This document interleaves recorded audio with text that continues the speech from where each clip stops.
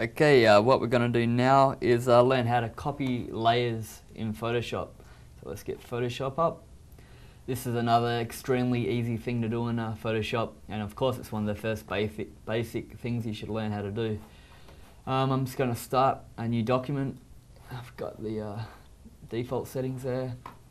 Um, now basically layers you'll find over here on your uh, right side. I'm going to pull it out a bit so you can see what I'm doing. I'm just going to drag down this a bit. As you can see we have our background white right there.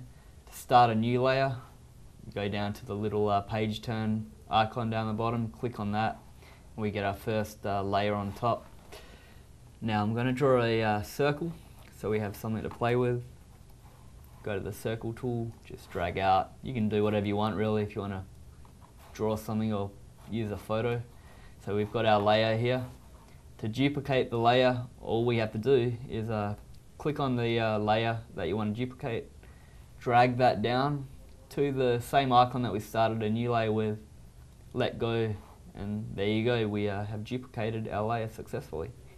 As you can see, it was very, very easy to do. So there you go, that's how we duplicate a layer.